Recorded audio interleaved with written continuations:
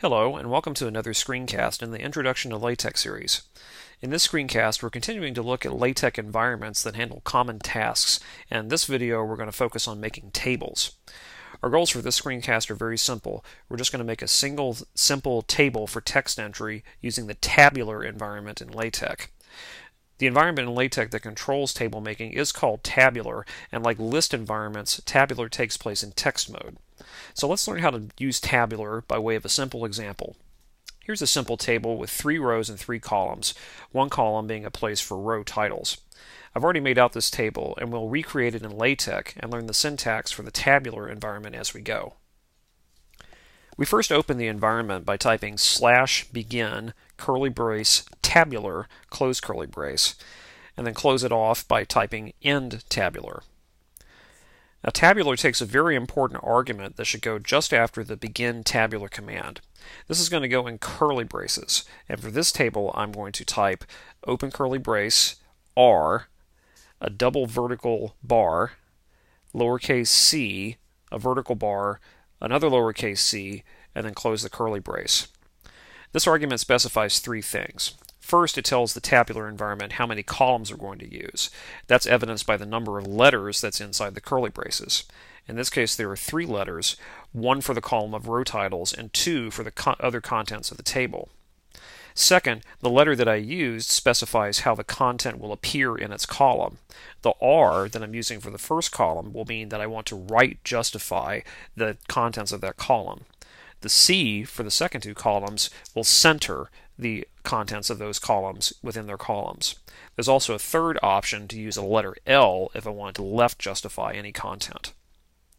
So that arrangement of letters means that the content in the first column will be right justified and content in columns 2 and 3 will be centered. Thirdly, the vertical bars that are in the argument specify whether and how many vertical lines will appear in the table. The table I showed you earlier had a double vertical line after the first column, then single vertical lines separating the other columns. And inside the opening argument, we're just simply going to mimic that arrangement with vertical bars typed from the keyboard. With that information at the beginning of the table, we can now enter in the content. As I'm typing, notice that there's nothing special going on here. This is just plain text, except for two things. First, when we're ready to end one column and move to another, we use an ampersand, just like in the align environment. So as we keep entering the first row, the second thing to note is that we, we, when we reach the end of a row and are ready to move on to the next row, I use a double backslash to end, to end the row. Now let's enter the second row.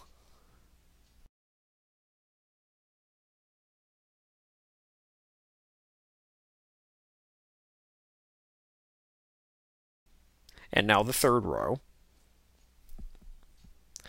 Once we reach the end of the last row, we don't need to end with a double backslash since the table is done. If I compile this much of the table, we can see what we have.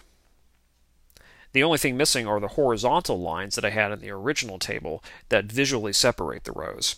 If I want to add those, I'm going to go to the end of each line in the LaTeX source code and type slash h line at the end of each row. And when I recompile that, you will see the horizontal lines appear in the table as I wanted. The nice thing about the tabular environment is that it makes it very easy to add new rows. If I wanted to go back in and add a row later, I just add another line to the tabular environment. Let's add a fourth row to this table that includes some math in here, showing that we can use math mode inside a table that normally would contain text. The width of each column will automatically adjust to fit the contents of the column. However, if you make the columns too wide, the column will run right off the edge of the page. There are advanced ways of handling this problem, but for our basic approach here, just be mindful of how large you're making your columns and try to keep them to fit on the page. And that's it. We've constructed a simple table using the LaTeX tabular environment. Thanks for watching.